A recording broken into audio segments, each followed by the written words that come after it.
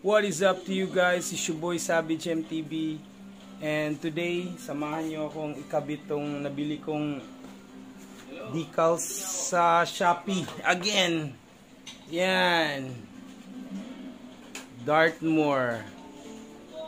So, yan guys. So, ilalagay natin siya sa rim natin. So, yun. Tara, let's go!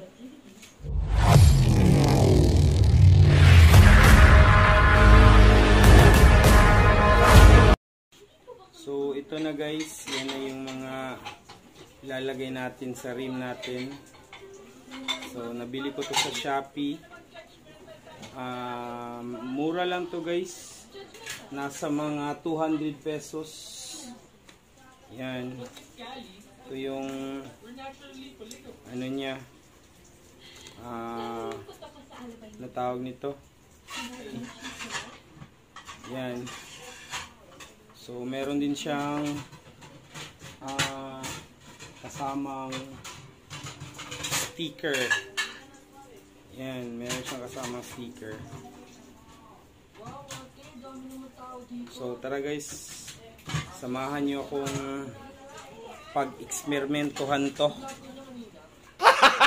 Gago! So, ito guys, simulan natin dito guys sa part na to.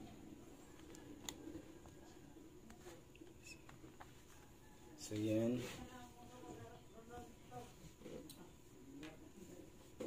Punasan nyo muna yung rims guys para malinis. Tapos, tanggalin nyo to. Yan.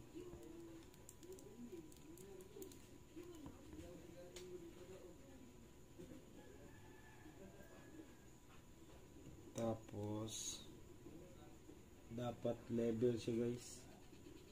So kung saan yung feel nyo na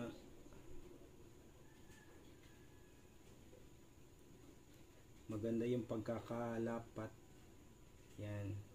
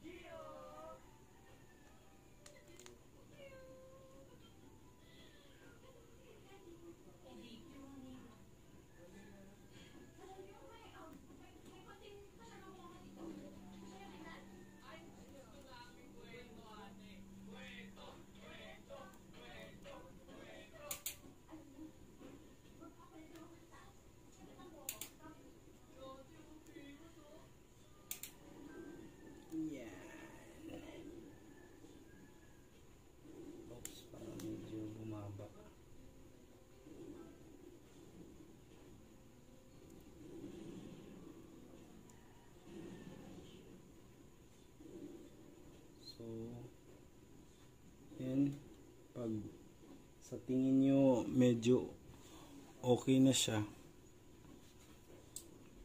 press nyo lang para ano press nyo siya. So ganyan lang guys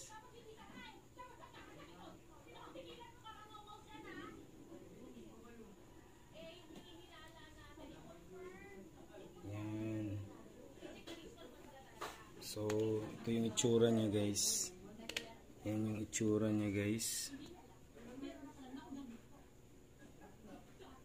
So, yan. Nadikit na natin siya. Pero, tatanggalin pa natin tong cover niya.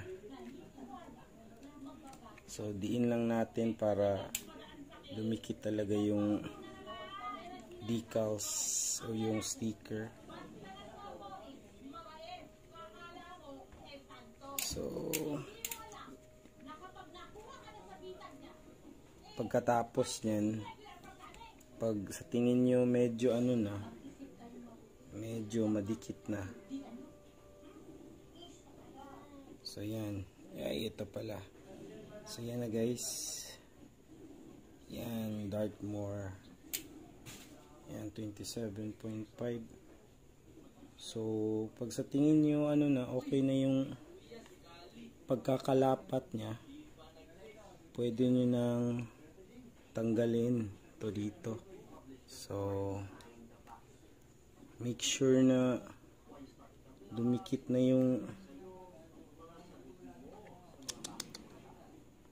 yan. So yun naiwan na yung letters.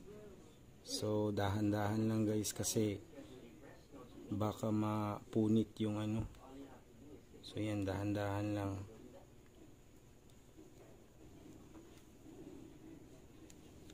yan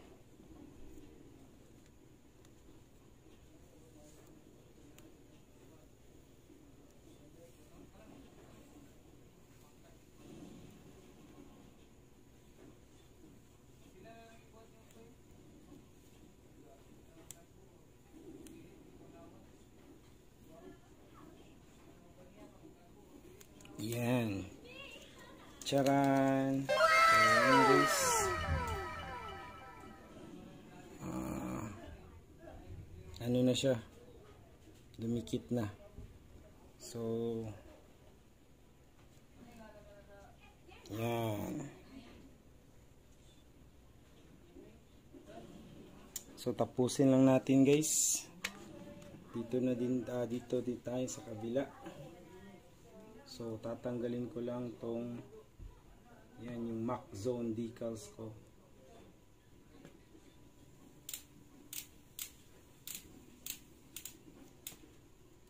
So, yun guys. Tanggal ko na yung old or yung original na decals niya sa rim ko. Yung original decals ng rim.